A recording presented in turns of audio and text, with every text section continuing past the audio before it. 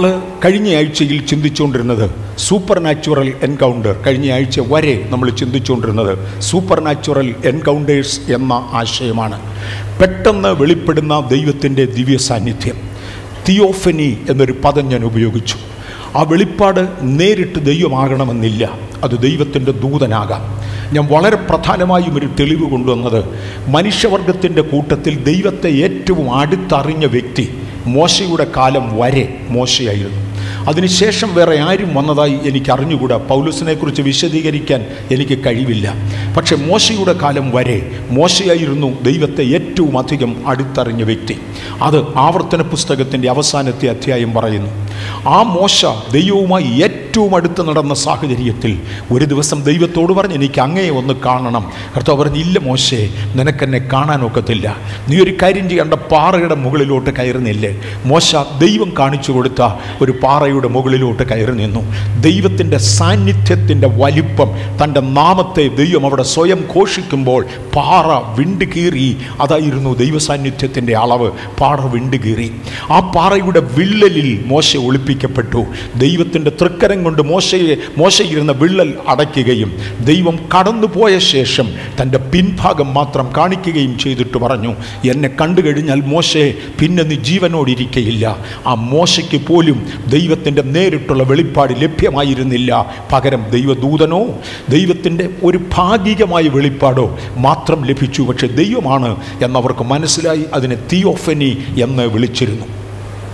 ഇങ്ങനെയുള്ള തീയോഫനികൾ പലതുണ്ടായത് ഹാഗാറിന്റെ മുമ്പിൽ ദൂതൻ വെളിപ്പെട്ടത് മുതൽ അബ്രഹാമിന്റെ മുമ്പിൽ വെളിപ്പെട്ടത് മോശയുടെ മുമ്പിൽ വെളിപ്പെട്ടത് പുതിയ നിയമത്തിലെ പൗലൂസിന്റെ മുമ്പിൽ വെളിപ്പെട്ടത് എന്നിങ്ങനെ പലരുടെയും മുൻപിലുണ്ടായ ദൈവിക വെളിപ്പാടുകളെക്കുറിച്ച് നമ്മൾ ഗൗരവമായി ചിന്തിച്ചുകൊണ്ടിരുന്നു. ഇന്ന് ഗിതയോന്റെ മുൻപിലുണ്ടായ വെളിപ്പാടിനെക്കുറിച്ച് ചിന്തിക്കുവാനായി കർത്താവിന്റെ കൃപയിൽ ശരണപ്പെടുകയാണ്. ഗിതയോന്റെ സാഹചര്യം എന്തായിരുന്നു? എന്തുകൊണ്ട് ഗിതയോന്റെ മുമ്പിൽ വെളിപ്പെടേണ്ടതായി വന്നു? ഇന്ന് അതുപോലൊരു സാഹചര്യത്തിൽ ഞാനും നിങ്ങളും ആകയാൽ നമ്മുടെ മുമ്പിലും ഒരു വെളിപ്പാട് വേണം. കഴിഞ്ഞ ആഴ്ചയിൽ ഞാൻ ഗൗരവമായി ഓർപ്പിച്ച മറ്റൊരു കാര്യം.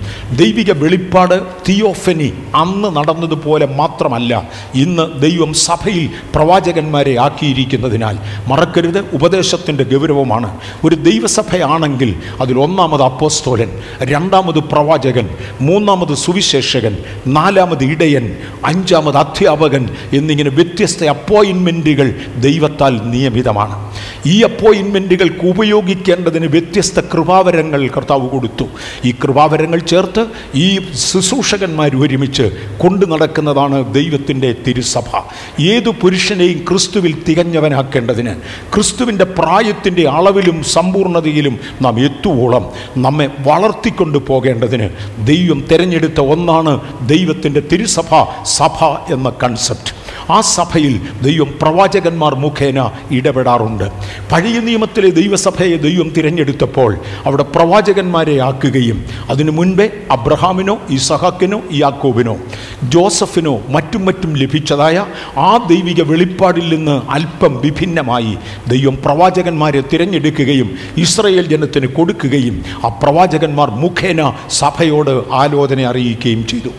ഇന്നും ദൈവത്തിന്റെ സഭയിൽ ദൈവം പ്രവാചകന്മാരെ ആക്കുന്നു യേശുക്രിസ്തു എന്ന അടിസ്ഥാന ആ മൂലക്കല്ലിനോട് ചേർന്ന് അപ്പസ്തോലന്മാരും പ്രവാചകന്മാരും എന്ന അടിസ്ഥാനത്തിന്മേൽ ജീവനുള്ള കല്ലുകൾ എന്നവണ്ണം നാമും ആയിത്തീർന്ന് ചേർത്ത് പണിയപ്പെടുന്ന ഒരാത്മീയ ഗ്രഹത്തെയാണ് സഭ എന്ന് വിളിക്കുന്നത്. ഇന്നത്തെ സഭയിലും അപ്പസ്തോലനും പ്രവാചകനും ഉണ്ട്. ദൈവത്തിന്റെ ആലോചന അവർ നമുക്ക് വേണ്ടി അറിയിക്കും. അതിനപ്പുറത്ത് ദൈവത്തിനൊന്ന് വെളിപ്പെടണമെന്ന് തോന്നിയാൽ ദൈവത്തോട് ചോദ്യം ചെയ്യുവാൻ ആര്? ചില പ്രത്യേക സാഹചര്യങ്ങളിൽ പ്രത്യേക ആവശ്യങ്ങൾക്ക് വേണ്ടി ഇന്നും ദൈവം വ്യക്തികളുടെ മുമ്പിൽ വെളിപ്പെടാറുണ്ട്. കർത്താവെ എന്റെ മുമ്പിൽ വെളിപ്പെട്ടെങ്കിൽ എന്ന് ഞാൻ പ്രാർത്ഥിക്കുന്നു. നമ്മിൽ ഓരോരുത്തരുടെ മുമ്പിൽ വെളിപ്പെട്ടെങ്കിൽ എന്ന് നമുക്ക് പ്രാർത്ഥിക്കാം. കാര്യം വലിയ ഉദ്ദേശത്തോടുകൂടെയാണ് അപ്രകാരമുള്ള ദൈവിക വെളിപ്പാടുകൾ നടക്കുന്നത്. ഞാൻ ഗിതയോന്റെ സാഹചര്യത്തിലേക്ക് പോകട്ടെ. മിഥ്യാന്യർ എന്ന ശക്തികൾ ഈ ഇസ്രയേലിനെ ഭരിക്കാൻ തുടങ്ങി. മിഥ്യാന്റെ ശക്തികളുടെ വല്ലാത്ത ഒരു പ്രത്യേകത ആ സീസണിൽ അതിനുപദ്രവമായി ഇതൊക്കെ വന്നു ചെയ്യും. ഇസ്രയേൽ വിളവിറക്കുന്ന സീസണിൽ കൃഷി ഇറക്കുന്ന സീസണിൽ മിഥ്യാൻ വരും. അവരെ ഇറക്കിയ കൃഷി മുഴുവനും നശിപ്പിക്കും. ഈ കൃഷി നശിപ്പിച്ചതുകൊണ്ട് മിഥ്യാന്യർക്ക് ഒരു ഗുണവുമില്ല. ഒരു ഗുണവുമില്ല. കാര്യം അവർക്ക് വരുന്ന ലാഭമില്ല. അവരുടെ അധ്വാനം നഷ്ടമാണ്. എന്നാൽ ഇസ്രയേൽ ഒരിക്കലും തലപൊക്കാതെ വേണം അവനെ കീഴ്പ്പെടുത്തി ഇടുവാൻ വ്യാപരിക്കുന്ന ഒരു മിഥ്യാന്യ ശക്തിയുണ്ട്. ആത്മിക ശുശ്രൂഷകൾ എവിടെയെങ്കിലും ഉയരുന്നെങ്കിൽ ദൈവസഭ തല ഉയർത്താതെ വേണം ആത്മീയരെ താഴ്ത്തിക്കളയേണ്ടതിനു വേണ്ടി ഇന്നും ഇതുപോലുള്ള ശക്തി ഉയരുന്നുണ്ട്. ഇത് പഴയ നിയമത്തിലെ മിഥ്യാന്യ ശക്തിയോട് ഉപമിക്കാവുന്നതാണ്. മിഥ്യാന്യ ശക്തിയുടെ രണ്ടാമത്തെ പ്രത്യേകത കോതമ്പ് വിളയുന്ന സമയത്ത് ഫലവൃക്ഷങ്ങൾ വിളയുന്ന സമയത്ത് അവർ വന്ന് ഫലം ശേഖരിക്കും കൊണ്ടുപോകും എന്ന് പറഞ്ഞാൽ ഒരു സഭ പൊട്ടിച്ചാൽ നാല് ആത്മാക്കളെ പിടിക്കാമല്ലോ. ഈ സഭയൊന്ന് തല്ലി തകർത്താൽ അപ്പുറത്തൊരിടത്തേക്ക് നാല് പേരെ കിട്ടുമല്ലോ അവനോ ശുശ്രൂഷയില്ല മിഥ്യാന്യനോ കൃഷിയില്ല അല്ലെ കൃഷി മെനക്കെടുന്നില്ല. എബ്രായർ ചെയ്ത കൃഷിയിൽ അവർക്ക് കൊണ്ടുപോകേണ്ട ഭാഗം മാത്രം വളരുവാൻ അനുവദിക്കുകയും വേണ്ടാത്തത് കൃഷി ചെയ്തപ്പോഴേ നശിപ്പിക്കുകയും കൊയ്തെടുക്കുവാൻ കാലമാകുമ്പോൾ പിന്നെയും വന്ന് ആ കൃഷി മുഴുവനും കൊണ്ടുപോകുകയും ചെയ്യും ആടുകളെ പിടിച്ചു പോകും മാടുകളെ പിടിച്ചു പോകും. ഇങ്ങനെ ഇസ്രയേലിനെ കൊല്ല കൊല ചെയ് കൊള്ള ചെയ്ത് ഇല്ലാതാക്കിയ ഒരു വല്ലാത്ത പരിതസ്ഥിതി ഒരു വല്ലാത്ത പരിതസ്ഥിതി. ഇസ്രയേൽ ദൈവത്തോട് നിലവിളിക്കുവാൻ തുടങ്ങി. ദൈവത്തിന്റെ പദ്ധതി എന്ന് പറയുന്നത് നിലവിളിക്കുന്നതാണ് എന്ന് മറക്കണ്ട. ഇസ്രയേലിനെ ദൈവം മിസ്രൈമിൽ നിന്ന് വിടിവിച്ചത് തന്നെ അവരുടെ നിലവിളി കേട്ടുണ്ട. യഹോവയായ ദൈവം പർവതമുകളിൽ ഇറങ്ങി വന്ന് മോശയോട് പറയുന്ന വാചകങ്ങൾ എന്റെ ജനത്തിന്റെ നിലവിളി ഞാൻ കേട്ടു. അവരുടെ കണ്ണുനീർ ഞാൻ കണ്ടു. ഞാൻ അവരെ വിടുവിപ്പാൻ വേണ്ടി ഇറങ്ങി വന്നിരിക്കുകയാണ് ആകയാൽ വരിക മോശേ ദൈവത്തിന്റെ മുമ്പിൽ നിലവിളിക്കുന്നവരെ ദൈവം സഹായിക്കാറുണ്ട്. ദൈവം ആഗ്രഹിക്കുന്ന പ്രമാണങ്ങളിൽ ഒന്ന് ദൈവ മുമ്പിലുള്ള നിലവിളിയാണ് അത് മറ്റൊരു ഷോർട്ട് കട്ട് കൊണ്ടും ലഭിക്കത്തില്ല. ദൈവത്തോട് അടുത്തു വരികയും നിലവിളിക്കുകയും ദൈവത്തിങ്കിൽ നിന്ന് പ്രാപിപ്പാനുള്ള ദൈവിക മെതേഡുകളാണ് ഇസ്രയേലിന്റെ വിടുതലിനെ കുറിച്ച് ഇതിനു മുമ്പ് ഒന്നോ രണ്ടോ പ്രാവശ്യങ്ങൾ ചില വർഷങ്ങൾക്ക് മുൻപേ ഞാൻ ഈ സഭയിൽ എടുത്തത് ഈ സ്റ്റേജിൽ എടുത്തത് വീണ്ടും ഞാൻ ഓർത്ത് ഒന്നുകൂടെ ഓർപ്പിക്കട്ടെ. ലോകത്തിൽ ഒരു ജാതിയും വേറൊരു രാജ്യ ജാതിക്ക് അടിമയായിരിക്കാൻ ആഗ്രഹിക്കുന്നില്ല. ഇസ്രയേൽ മിസ്രൈമിൽ വരുന്ന സമയത്ത് തന്റെ ജോസഫ് എന്നൊരു നേതാവ് അവർക്കുണ്ടായിരുന്നു. ജോസഫാണ് ഇസ് മിശ്രീമിന് ആവശ്യമുള്ള നേട്ടങ്ങൾക്ക് കാരണമായ ദർശന വ്യാഖ്യാനങ്ങൾ നടത്തിയത്. ആ ദർശന വ്യാഖ്യാനങ്ങളിൽ ദൈവം കൊടുത്ത കൃപാവരങ്ങളെ ഉപയോഗിച്ചുകൊണ്ട് ജനത്തെ ദൈവ ആ, ദൈവിക പ്ലാനിലേക്ക് നടത്തുകയും നിങ്ങൾക്കൊരു ഏഴ് വർഷം സമൃദ്ധിയുടെ കാലമുള്ളപ്പോൾ നിങ്ങൾ സമ്പാദിക്കേണ്ടത് സമ്പാദിച്ചു വെച്ച് അടുത്ത കഷ്ടതയുടെ ദാരിദ്ര്യത്തിന്റെ ക്ഷാമത്തിന്റെ ഏഴു വർഷത്തിൽ ആ സമ്പാദ്യം ഉപയോഗിക്കുകയും ചെയ്യുവാൻ പഠിപ്പിച്ചു. ചോദിച്ചതിലും നനച്ചതിലും അധികമായി ദൈവം അവരെ അനുഗ്രഹിച്ചു. അയൽ രാജ്യങ്ങൾ പോലും ആഹാരം കൈക്കൊള്ളുവാൻ മിശ്രൈമിലേക്ക് വരികയും അയൽ രാജ്യങ്ങളുടെ പോലും സമ്പത്ത് മിശ്രൈമിന് ലഭിക്കുകയും. അങ്ങനെ ദൈവമനുഷ്യനായ ജോസഫ് മുഖേന മിശ്രൈമ്യർ സമ്പർ സമർത്ഥരാകുകയും ചെയ്തു. അതിന്റെ എല്ലാം മേന്മ അതിന്റെ എല്ലാം നന്ദി മിശ്രയും രാജാവ് ഇസ്രയേൽ ജനത്തോട് കാണിച്ചു. മിശ്രയും രാജാവിന്റെ കണ്ണിലുണ്ണിയായി ഇസ്രയേൽ ജനം വളർന്നു. പെട്ടെന്നാണ് ജോസഫിനെ അറിയാത്ത ഒരു രാജാവ് വന്നത്. ആ രാജാവ് വന്നതോടുകൂടെ സംഗതികൾ തിരിഞ്ഞു വീണു. ആ രാജാവ് ഇസ്രയേൽ ജനത്തെ അടിമകളാക്കുവാൻ തീരുമാനിച്ചു. അങ്ങനെ ഇസ്രയേൽ മിസ്രൈമ്യർക്ക് അടിമകളായി. ഞാൻ പറഞ്ഞു ഒരു രാജ്യത്തും ഒരു ജനതയും മറ്റൊരു ജനതയ്ക്ക് അടിമയാകാൻ ആഗ്രഹിക്കുന്നില്ല. ഇവർ അടിമകളായി മാറി. അടിമകളായി മാറിയ സാഹചര്യത്തിൽ നൂറ് ശതമാനം ബുദ്ധി കൊണ്ട് ആലോചിച്ചാൽ കോമൺ സെൻസ് കൊണ്ട് കഴിയുന്ന എതിർപ്പിന്റെ മെത്തേഡുകൾ അവർ വിട്ടു കാണും. അവരെ കൊണ്ട് ഒക്കുന്നത് പോലെ പ്രതികരിച്ചു കാണും. ആ എതിർപ്പുകളെ അടിച്ചമർത്തി അവരെ അടിമകളാക്കി വെച്ചു. ഒരു തലമുറ പോയി അടുത്ത തലമുറ വന്നു. ഒരു നൂറ്റാണ്ട് മാറി അടുത്ത നൂറ്റാണ്ടായി. പുതിയ തലമുറ പുതിയ മെതേഡുകൾ എടുത്തു കാണും. വ്യത്യസ്ത മെതേഡുകളിൽ യുദ്ധം ചെയ്ത് ജയിക്കുവാൻ ഒരു പക്ഷേ രക്ഷരുക്ഷിത രക്തരൂക്ഷിതമായ പ്രവർത്തികളിലൂടെ അല്ലെങ്കിൽ ബലപ്രയോഗത്തിലൂടെ രക്ഷപ്പെടുവാൻ വ്യത്യസ്ത മാർഗങ്ങൾ ഓരോ തലമുറകളും മാറി മാറി ചെയ്തു കാണും. നാലോ അഞ്ചോ പത്തോ വർഷങ്ങൾ ഇടയിട്ട് വ്യത്യസ്ത മെതേഡുകളിലൂടെ യുദ്ധം ചെയ്യുവാൻ ശ്രമിച്ച് എന്നും എന്നും പരാജയപ്പെട്ട ജനം അവസാനം തീരുമാനിച്ചു നമുക്ക് ദൈവത്തെങ്കിലേക്ക് മാത്രം തിരിഞ്ഞ് ഒന്ന് കരയാം. അവർ ദൈവത്തെങ്കിലേക്ക് തിരിഞ്ഞ് കരയാൻ തുടങ്ങി. അവരുടെ പൂർവപിതാവായ യാക്കോബ് ഇസ്രയേൽ എന്ന് മാറി ഒരു പുത്തൻ നാമം തനിക്കുണ്ടാകുമ്പോൾ തന്നെ മിശ്രൈമിൽ നിന്ന് ഐ സോറി തന്നെ ഇസ്രയേൽ എന്ന പേരിൽ അറിയപ്പെടേണ്ടതിന് ദൈവത്തിങ്കിൽ നിന്ന് അനുഗ്രഹം പ്രാപിച്ചപ്പോൾ അദ്ദേഹവും ചെയ്തത് ഇത് തന്നെയാണ്. ദൈവത്തിന്റെ ദൂതനോട് കരഞ്ഞ് അപേക്ഷിക്കുകയായിരുന്നു. യാക്കോബ് മൽപ്പിടുത്ത മറുപിടുത്തം നടത്തിയെന്ന് ഒരു ഭാഷാ ശൈലിയിൽ പറയുന്നെങ്കിലും മറ്റൊരു ഭാഷാ ശൈലിയിൽ ദ- യാക്കോബ് കരഞ്ഞു നിലവിളിച്ചു കരഞ്ഞ് അപേക്ഷിച്ചു എന്നാണ് എഴുതിയിരിക്കുന്നത്. കരഞ്ഞാണ് ദൈവത്തിന്റെ ദൂതന്റെ കയ്യിൽ നിന്ന് അദ്ദേഹം അനുഗ്രഹം പ്രാപിച്ചത്. ആ യാക്കോബിന്റെ കൊച്ചുമക്കൾ ഇസ്രയേൽ എന്ന് പേര് മാറപ്പെട്ട ആ രാഷ്ട്രപിതാവിന്റെ കൊച്ചുമക്കൾ ഇസ്രയേൽ എല്ലാം കൂടെ ചേർന്ന് പറഞ്ഞു നമുക്കും ഒന്ന് കരഞ്ഞു നോക്കാം. അവർ കരയാൻ തുടങ്ങി. ദൈവം അവർക്ക് മറുപടിയുമായി ഇറങ്ങി വന്നു. അന്ന് ദൈവം മോശയെ അയച്ചു. ഇപ്പോൾ പിന്നെയും ദൈവം ഓരോ പ്രവാചകന്മാരെ അയച്ചു ഓരോ ന്യായാധിപന്മാരെ അയച്ചു. അവരുടെയൊക്കെ കയ്യാൽ ദൈവം ഒരു ജയം കൊടുത്തു കഴിയുമ്പോൾ ഇസ്രയേൽ പിന്നെയും ദൈവത്തോട് പാപം ചെയ്യുകയും ദൈവത്തിന്റെ വഴികൾ വിട്ട് തിരികെയും ചെയ്തു. ദൈവവചനം പറയുന്നത് നിങ്ങളുടെ ആകൃത്യം എന്റെ മുൻപിൽ ഉയർന്നാൽ നിങ്ങളുടെ പാപം എന്റെ മുമ്പിൽ വലുതായാൽ ഒന്ന് ഞാൻ അപ്പമെന്ന കോലിനെ ഒടിക്കും എന്ന് പറഞ്ഞാൽ നിങ്ങൾക്ക് തിന്നാനൊന്നും കാണുകയില്ല ഞാൻ അതിനെ ഒടിക്കും രണ്ട് ഞാൻ നിങ്ങളുടെ വെള്ളത്തെ ശപിക്കും. അങ്ങനെ അങ്ങനെ അങ്ങോട്ട് പോകുന്നുണ്ട്. അതെ ഇവരുടെ അപ്പമെന്ന കോൽ ഒടിഞ്ഞു. കൃഷി ഇറക്കുന്ന സമയമാകുമ്പോൾ മിഥ്യാൻ വന്ന് ഇറക്കിയ കൃഷി നശിപ്പിക്കും. രണ്ട് കൃഷി കൊയ്യേണ്ട സമയമാകുമ്പോൾ നശിപ്പിക്കാത്ത കൃഷി എവിടെയെങ്കിലും ബാക്കിയുണ്ടെങ്കിൽ അത് മിഥ്യാൻ കൊണ്ടുപോകും. വളർത്തിക്കൊണ്ടുവരുന്ന മൃഗങ്ങളുടെ സമ്പത്തും മിഥ്യാൻ കൊണ്ടുപോകും. ഇങ്ങനെ അപ്പമെന്ന കോൽ ഒടിഞ്ഞ സാഹചര്യത്തിൽ അവർ വീണ്ടും ദൈവത്തോട് നിലവിളിക്കാൻ തുടങ്ങി.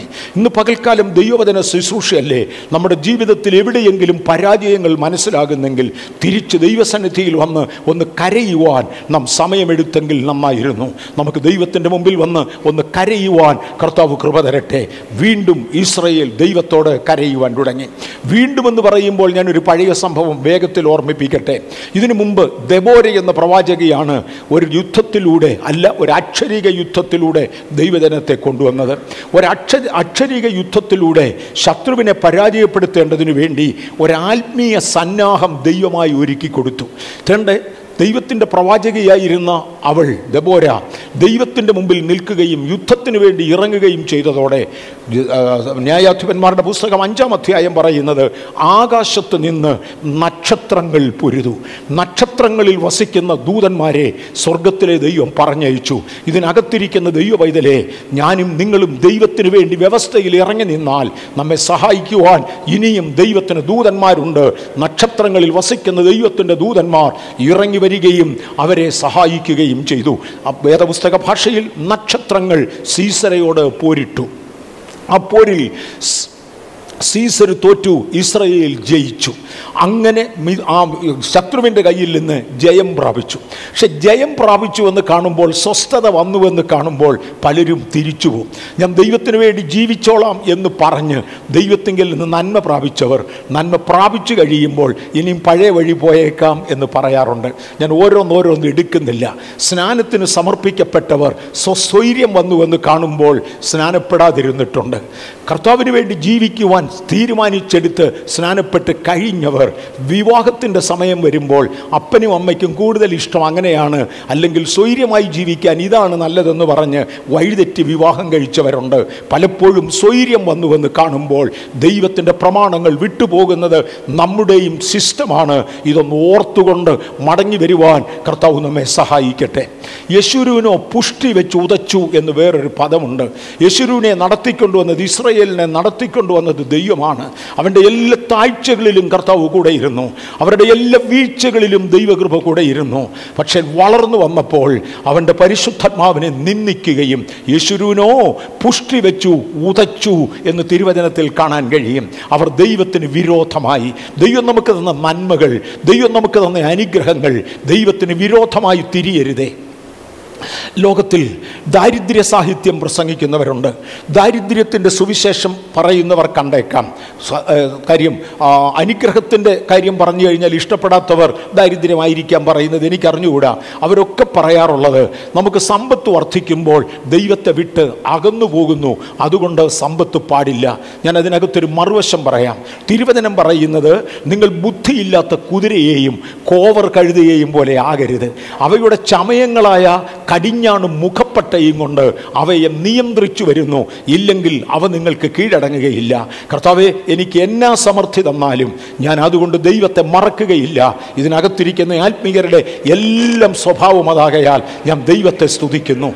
ചിലരുണ്ട് എന്തെങ്കിലും കൈ കിട്ടിയാൽ അതുകൊണ്ട് ദൈവത്തെ ഉപദ്രവിക്കുവാൻ ദൈവത്തിന് വിരോധമായി പോകും. അങ്ങനെയുള്ളവരെ ദൈവം ദാരിദ്ര്യത്തിൽ സൂക്ഷിക്കട്ടെ. ഇതിനകത്തിരിക്കുന്ന ദൈവ പൈതലെ എൻ നന്മയും കരുണയും നിങ്ങളുടെ ആയുഷ്കാലമൊക്കെയും നിങ്ങളെ പിന്തുടരേണ്ടതിന് ദൈവ മുമ്പിൽ യോഗ്യമായി ജീവിക്കാം. അവർ അയോഗ്യമായി ദൈവസന്നിധിയിൽ ജീവിച്ച് തുടങ്ങിയതിനെ തുടർന്ന് ദൈവം വീണ്ടും മിഥ്യാന്യരെ അയക്കുകയും മിഥ്യാന്യർ ഈ ജനത്തെ പീഡിപ്പിക്കുകയും ചെയ്തു. അങ്ങനെ അപ്പമെന്ന കോൽ വീണ്ടും ഒടിഞ്ഞു. മിഥ്യാൻ ദൈവത്തോട് നിലവിളിച്ചപ്പോൾ എഴുതിയിരിക്കുന്നത് ഏതാണ്ട് ഏഴ് വർഷം അവർ ദൈവത്തെ എമ്പോട് മറുതലിച്ച് നിലവിളിച്ചുകൊണ്ട് നടന്നു. ഒരു ഏഴ് വർഷം കഴിഞ്ഞപ്പോൾ ദൈവം ഒരു പ്രവാചകനെ അയച്ചു.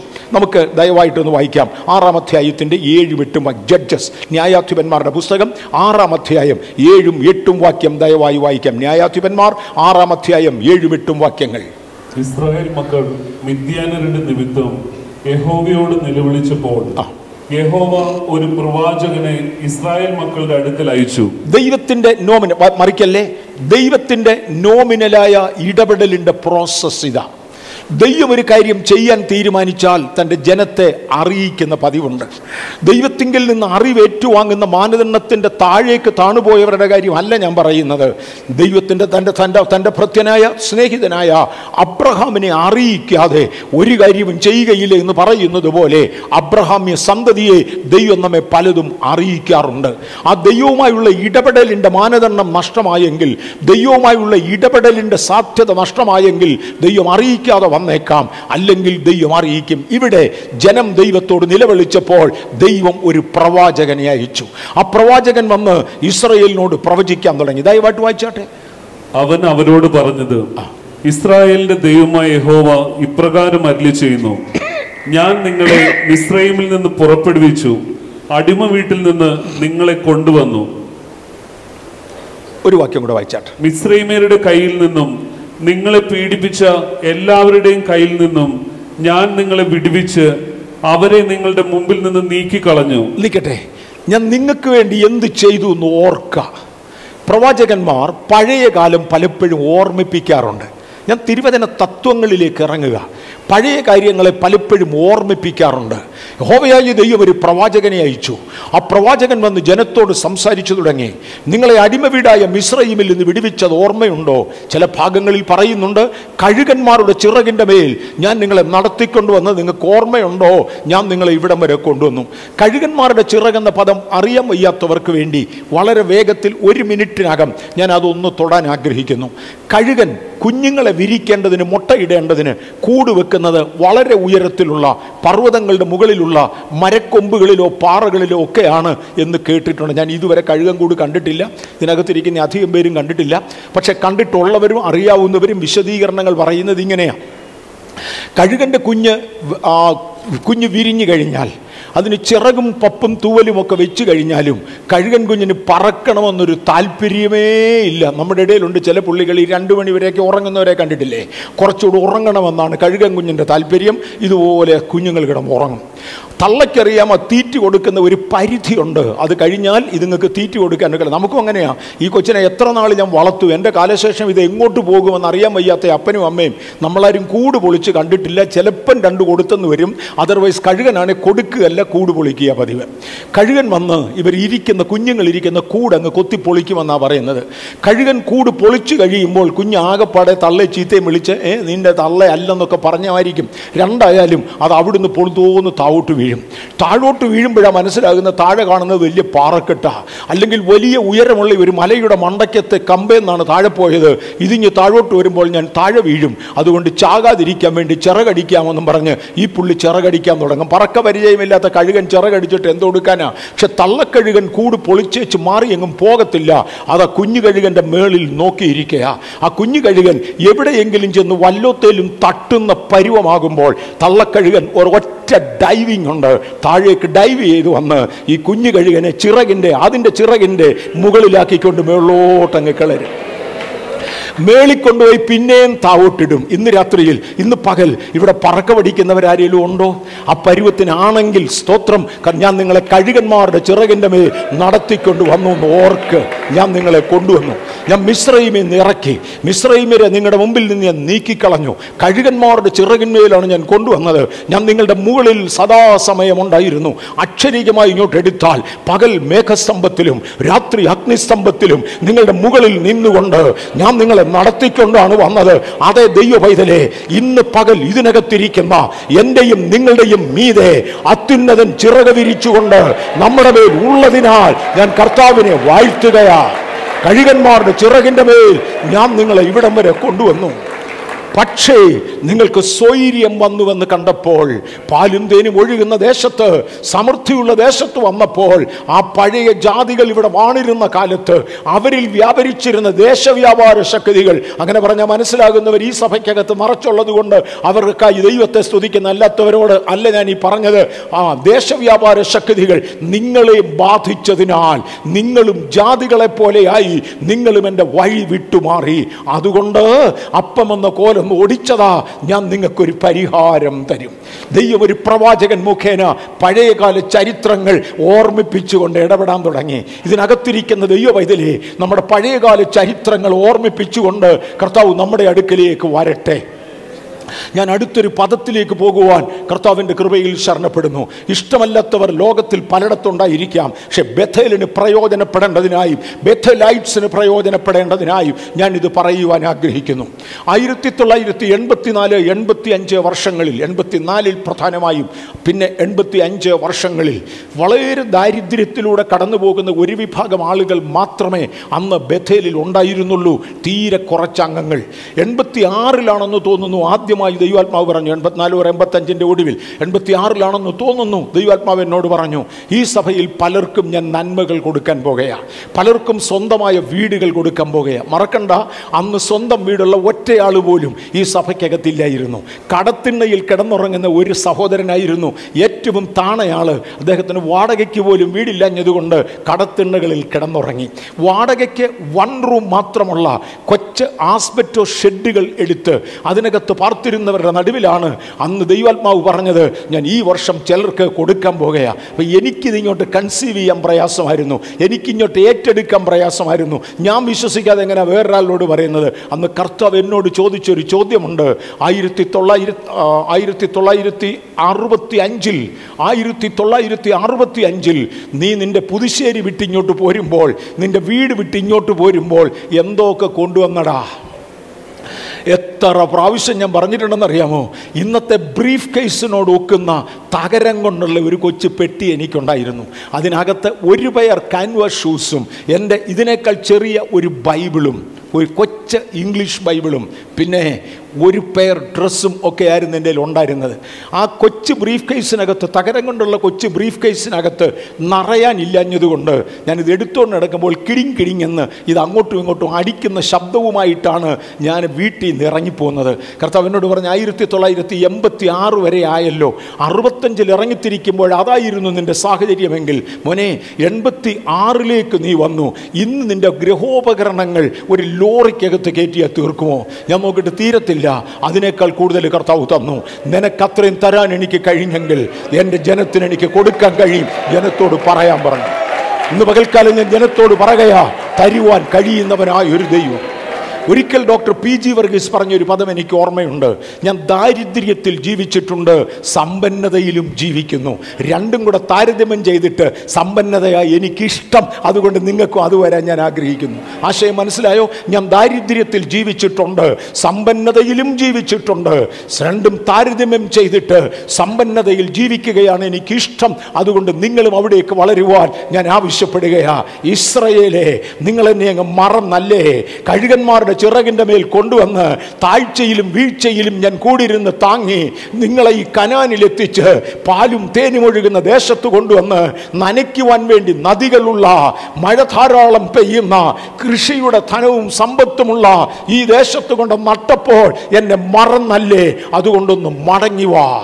ഒന്ന് മടങ്ങി വാ. ദയവായിട്ട് പതിനൊന്നും പന്ത്രണ്ടും വാക്യം കൂടെ വായിച്ചാട്ടെ. ജഡ്ജസ് ആറിന്റെ പതിനൊന്നും പന്ത്രണ്ടും. അനന്തരം യഹോവയുടെ ഒരു ദൂതൻ വന്ന് ആ. ഒഫ്രയിൽ അഭിയേസ്ത്രനായ യോവാഷിന്റെ കരുവേലകത്തിൻ കീഴെ ഇരുന്നു. നിൽക്കട്ടെ നമുക്കത് മുഴുവൻ വായിക്കണം. ആ രണ്ട് വാക്യങ്ങൾ മുഴുവൻ വായിക്കണം. ഒരിക്കൽ ഒരു പ്രവാചകനെ അയച്ച് ജനത്തെ ഒന്ന് അപ്- അപ്- അപ്ഡേറ്റ് ചെയ്തു. എന്തുകൊണ്ടാണ് നിങ്ങൾക്ക് ഈ പ്രശ്നമുണ്ടായത്? ഇന്ന് പകൽ ആ പ്രവാചകന്റെ സ്ഥാനത്ത് നിന്നുകൊണ്ട് ദൈവവചനം കൊണ്ട് ഞാൻ ഇതിനകത്തിരിക്കുന്ന അർഹതപ്പെട്ടവരെ ഓർമ്മിപ്പിക്കട്ടെ. എന്തായിരിക്കും ബലഹീനതകൾക്ക് കാരണം? എന്തായിരിക്കും കുറവുകൾക്ക് കാരണം? നാം ദൈവത്തിന്റെ വഴി വിട്ടുപോയതാണെങ്കിൽ ദയവായി മടങ്ങി വരുവാൻ നമുക്ക് ദൈവകരങ്ങളിലേക്ക് ഒന്ന് ഏൽപ്പിക്കപ്പെടാം. മടങ്ങി വരേണ്ടതിന് വേണ്ടി ആ ജനത്തെ ഒന്ന് വാൺ ചെയ്തു. അവരുടെ കുറവുകളെക്കുറിച്ച് അവരെ ഓർമ്മപ്പെടുത്തി. ഓരോരുത്തരും ദൈവസന്നിധിയിൽ അനുദപിച്ച് കാണാം. കാര്യം പിന്നത്തേതിന്റെ റിയാക്ഷൻ കാണുകയാ. അത് കഴിഞ്ഞപ്പോൾ കർത്താവ് പറഞ്ഞ് തിയോഫനിയുടെ സമയമായി. എനിക്കൊന്ന് വെളിപ്പെടുവാനുള്ള സമയമായി. യഹോവയുടെ ഒരു ദൂതൻ വന്ന് ഒരു കരിവേലകത്തിന്റെ ചൊവ്വിട്ടിൽ അന്നേരം ദൂതനെ ആർക്കും കാണത്തില്ല. ഒരു ദൂതൻ വന്ന് ഇവിടെ ഇരിക്കയാ.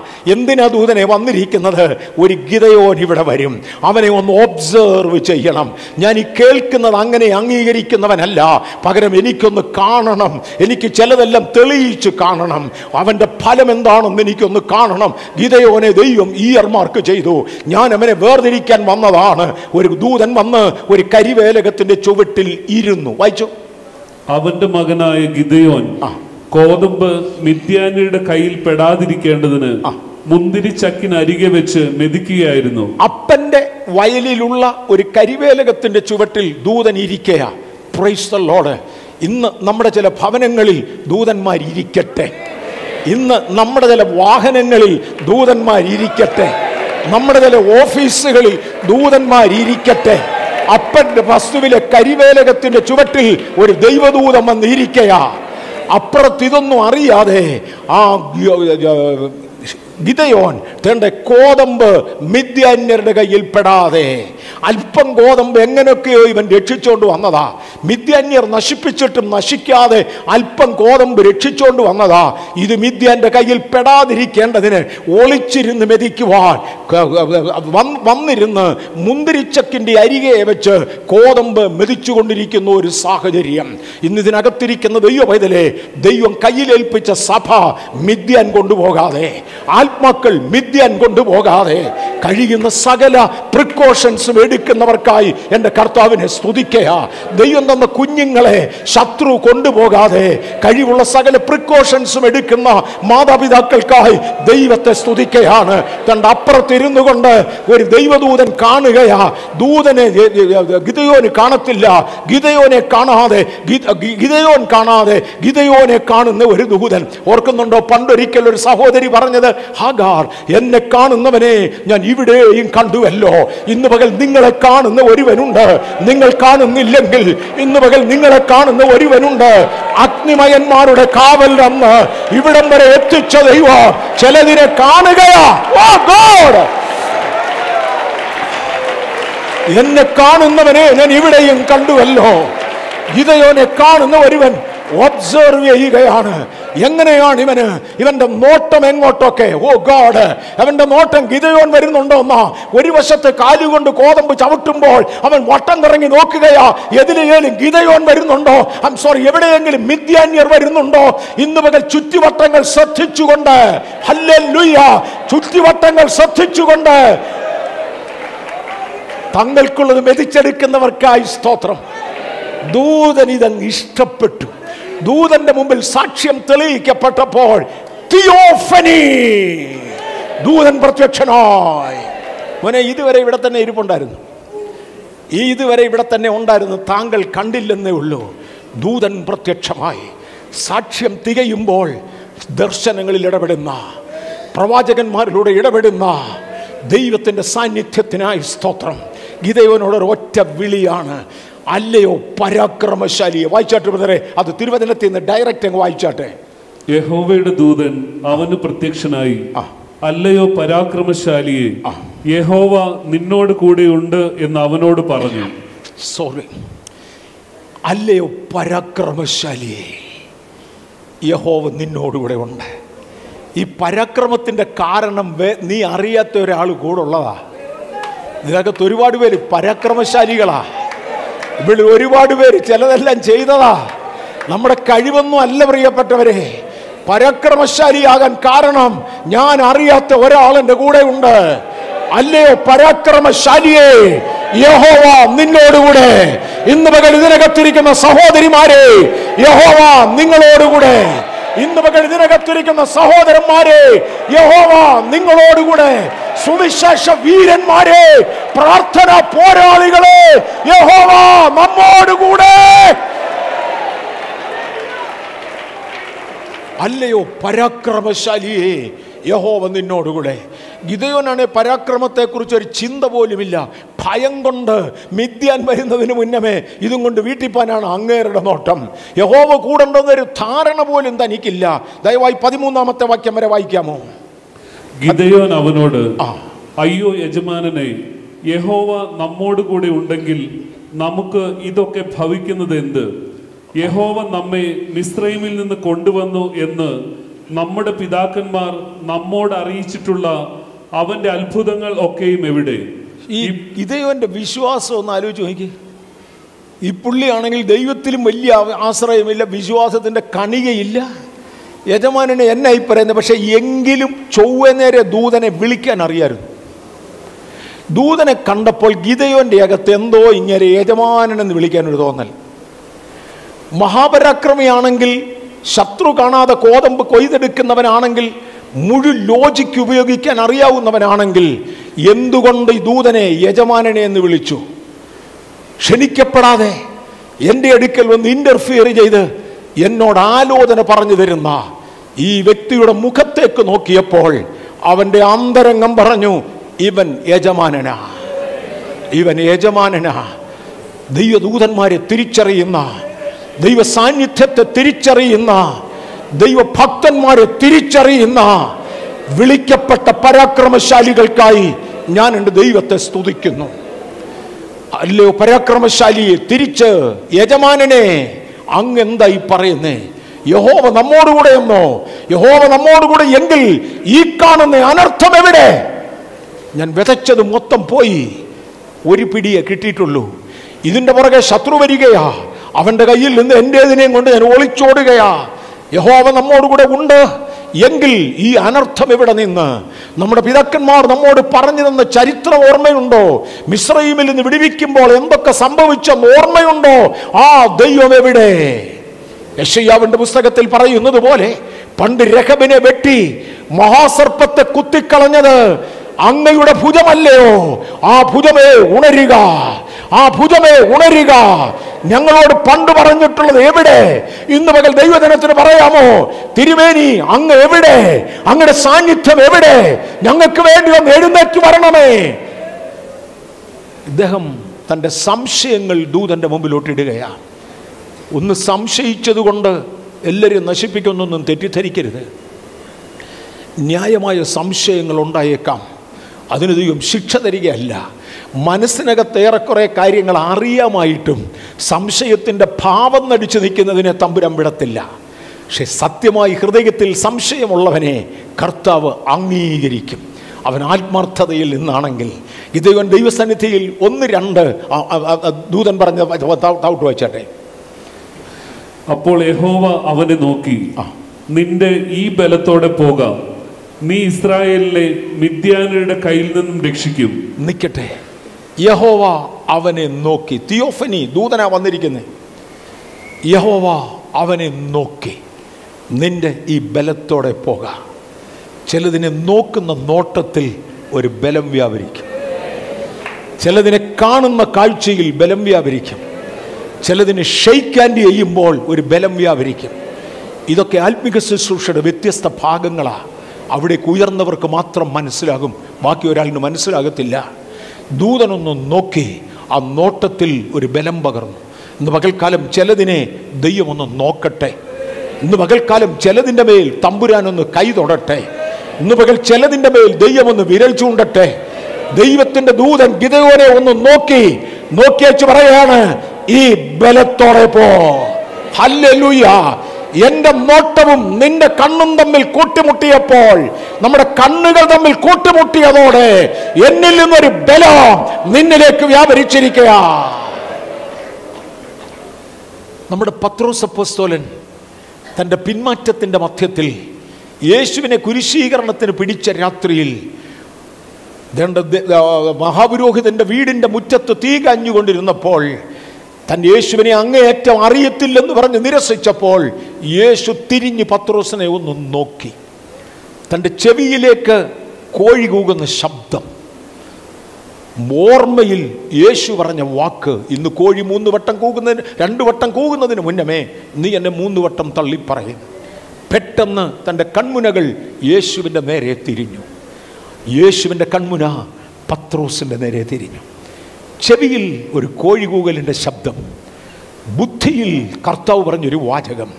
നോട്ടത്തിൽ ക്രിസ്തുവിന്റെ കൺമുനയുമായി കൂട്ടിമുട്ടി ഒരൊറ്റ ശക്തിയുടെ വ്യാപാരം അനുതാപം പ്രാർത്ഥന. ഇന്ന് പകൽ തക്ക സമയത്ത് ദൈവത്തെ ഒന്ന് നോക്കുവാൻ. ഈ ശബ്ദം ഒരു കോഴികൂകലിന്റെ ശബ്ദമായി നിങ്ങളുടെ കാതുകളിലിരിക്കട്ടെ പരിശുദ്ധാത്മാവ് നിങ്ങളോട് ഇടപെട്ട ആലോചനകൾ ഇന്ന് ദൈവിക യാഥാർത്ഥ്യമായി മനസ്സിൽ ഓർമ്മ വരട്ടെ. ക്രിസ്തുവിനെ ഒന്ന് നോക്കുവാൻ. അവങ്കിലേക്ക് നോക്കിയവർ പ്രകാശിതരായി. അവരുടെ മുഖം ലജ്ജിക്കത്തില്ല. തന്റെ മുഖത്തേക്ക് ഇന്നൊന്ന് നോക്കുവാൻ കഴിയുമെങ്കിൽ താങ്കളുടെ നോട്ടത്തിന് വേണ്ടി യേശു കാത്തിരിക്കയാണ്. പത്രോസിലേക്ക് ഒരു അനുതാപത്തിന്റെ ചിന്ത വന്നു. ഗിതയോനിലേക്ക് ഒരു ശക്തി ബലം വ്യാപരിച്ചു. ഗിതയോനോട് പറഞ്ഞു ഈ ബലത്തോടെ പോകാ. നീ മിഥ്യാന്യരെ തോപ്പിക്കും. ഇന്ന് പകൽക്കാലം ചെയ്ത് കഴിഞ്ഞേച്ചല്ല പറയുന്നത് ചെയ്യാൻ പോകുന്ന കാര്യം പറയുകയാ. ബലം ഏറ്റുവാങ്ങിയ ശേഷമല്ല പറയുന്നത് ബലം തരാൻ മാറ്റി വെച്ചേച്ച് പറയുകയാ. ഹേ പരാക്രമശാലിയെ യഹോവ നിന്നോടുകൂടെ രണ്ടായിരത്തി ഇരുപതിൽ ഏതാണ്ടൊക്കെ ചെയ്യുവാൻ ഹൃദയത്തിൽ താല്പര്യവുമായി ഇന്ന് രാവിലത്തെ ആരാധനയിൽ വന്നിരിക്കുന്ന ദൈവവേദനെ ഈ ബലത്തോടെ പോകാം. നീ ചെന്ന് വിദ്യാനെ തോപ്പിക്കുമെന്നല്ല. നീ ചെന്ന് തോപ്പിക്കുമെന്നല്ല. നിന്നിൽ വ്യാപരിക്കുന്ന ശക്തി നിന്നെ കൊണ്ട് യഹോവ തോൽപ്പിക്കും. ദൈവത്തിന്റെ കയ്യിൽ ഉപയോഗിക്കുവാൻ ഗിതയോനെ അങ്ങൊരു ഉപകരണമാണ്. അങ്ങൊരു ഉപകരണമാ. നീ എന്റെ കയ്യിലെ യുദ്ധത്തിന്റെ ആയുധമാ. ദൗട്ട് മൈ ബാറ്റിൽ ദൈവ പൈതലെ ചിലതിനെ തകർക്കുവാൻ ചിലതിനെ ഉടയ്ക്കുവാൻ ചിലതിനെ നിർമൂലമാക്കുവാൻ ചിലതിനെ പണിയുവാൻ. തൃക്കരങ്ങളിലെ ഉപകരണങ്ങളല്ലേ?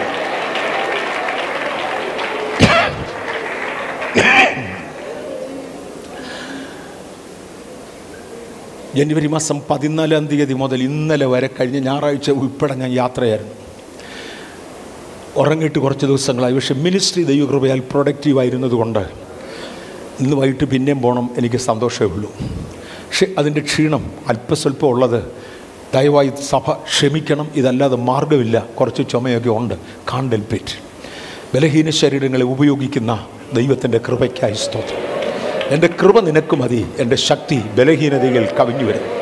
ഇന്ന് പകൽ ബലഹീനരെ നമ്മെ താങ്ങുന്ന ഒരു ദൈവകരങ്ങളിലേക്ക് നമുക്കൊന്ന് ഏൽപ്പിക്കാം. ഇതുകൊണ്ട് കർത്താവ് കാര്യം ചെയ്യിക്കട്ടെ. ഓൾ റൈറ്റ് തന്റെ അവിശ്വാസം ദൈവസന്നിധിയിൽ പ്രകടമാക്കി പറഞ്ഞു. തുടർന്ന് അദ്ദേഹം ഒന്ന് രണ്ട് അടയാളങ്ങൾ ദൈവത്തോട് ചോദിച്ചു. ദൈവം അതും കൊടുത്തു. ഏഴാം അധ്യായത്തിന്റെ ഒൻപതാമത്തെ വാക്യത്തിലേക്ക് വരാം. യഹോവ മിഥ്യാനിയെ നമ്മുടെ കയ്യിൽ ഏൽപ്പിച്ചിരിക്കുന്നു. നിങ്ങളുടെ കയ്യിൽ ഏൽപ്പിച്ചിരിക്കുന്നു. വായിക്കാം. ഏഴിന്റെ ഒമ്പത്. അന്ന് രാത്രി യഹോവ അവനോട് കൽപ്പിച്ചത് എഴുന്നേറ്റ് പാളയത്തിന്റെ നേരെ ഇറങ്ങി ചെല്ലുക. ഞാനത് നിന്റെ കയ്യിൽ ഏൽപ്പിച്ചിരിക്കുന്നു. നോക്കിക്കോണേ ഒരു അഡ്വാൻസ് കമാൻമെന്റ് ഒരു അഡ്വാൻസ് കമാൻമെന്റ് ഞാനത് നിന്റെ കയ്യിൽ ഏൽപ്പിച്ചിരിക്കുന്നു. ഈ ആഴ്ചയിൽ തീരുമോ എന്ന് എനിക്ക് അറിഞ്ഞൂടാ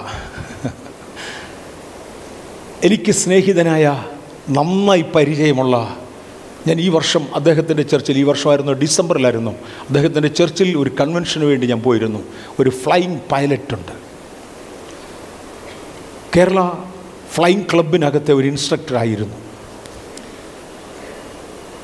ഞാൻ പേര് തുറന്നു പറയാം. പാസ് രാജേഷ് ഡാനിയേൽ. പാസ് ക്യാപ്റ്റൻ ക്യാപ്റ്റൻ രാജേഷ് ഡാനിയേൽ. അദ്ദേഹം അദ്ദേഹത്തിന്റെ പിതാവ്.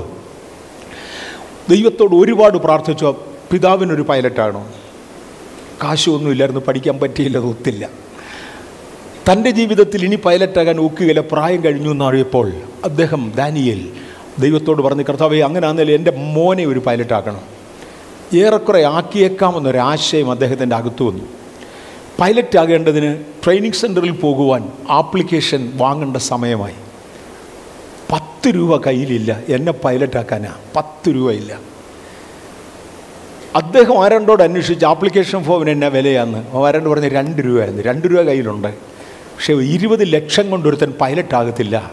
ഇവനെ എങ്ങനെ പൈലറ്റാക്കും അദ്ദേഹം രണ്ട് രൂപ എടുത്തുകൊണ്ട് ദൈവത്തോടൊരു പ്രാർത്ഥന പ്രാർത്ഥിച്ച് രാജേഷ എന്നോട് പറഞ്ഞേ കർത്താവേ എന്റെ ഇത്രയേ ഉള്ളൂ.